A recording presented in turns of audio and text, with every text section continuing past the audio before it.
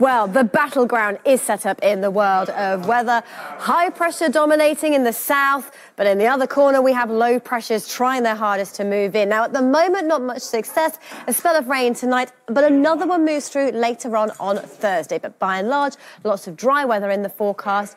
But it is still that time of year. Yes, it is the 1st of October, and with clear, cold conditions by night, we could see a touch of frost through the next few days. Temperatures have dipped below freezing for some northern areas this morning, but at least we're greeted by some decent sunshine for the most part. Now, England and Wales stick with the sunshine for most of the day today. A few showers clipping through the coast of Norfolk and Suffolk, a few also for northwestern parts of England just feeding in through the West Midlands, but generally dry.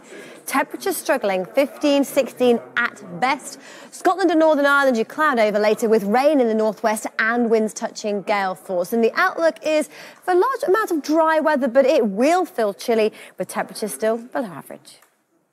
For the weather where you are in detail, go to itv.com forward slash weather. Monday, 1st of October 2018. Live from ITV Studios in London. This is Good Morning Britain with Piers Morgan and Susanna Reid.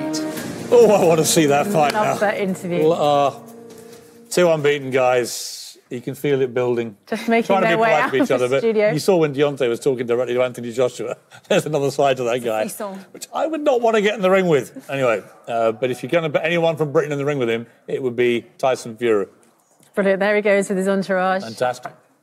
Oh, great stuff. Back to pugilism of a political variety. The Chancellor Philip Hammond has told Good Morning Britain that he does not believe Boris Johnson will ever be Prime Minister. In the last half an hour, he also told us that delivering Theresa May's Brexit Chequers plan will allow us to have a bright future. Well, joining us now live from a Tory party conference in Birmingham is former Brexit Secretary David Davis. Mr. Davis, thank you very much indeed Bit for, of a pugilist himself. for joining us. You're a well-known pugilist yourself, yes. Um, Philip Well, Hammond. I'm, I'm, yeah, as you can tell by my broken nose, I'm not very good at it. the, um, but I'm, you know, I'm, I'm looking, I'm, look- Piers, I'm looking forward to my invitation to join you in LA. I tell you, Oh, that yeah, will everyone will be piling on with that one. it will be I'm, good. I'm, I'm, I'm, I'm just feeling, sitting here feeling jealous of not having a name like Tyson Fury. it's a great name. What, what was wrong with my parents? We need a prime minister called Tyson Fury, I think. Um, let me ask you, Oh, God. uh, David Davis. So Philip Hammond today uh, basically confirmed, actually, the Mail story that he doesn't think Boris Johnson will ever be prime minister. First of all, do you agree with him? Do you think that Boris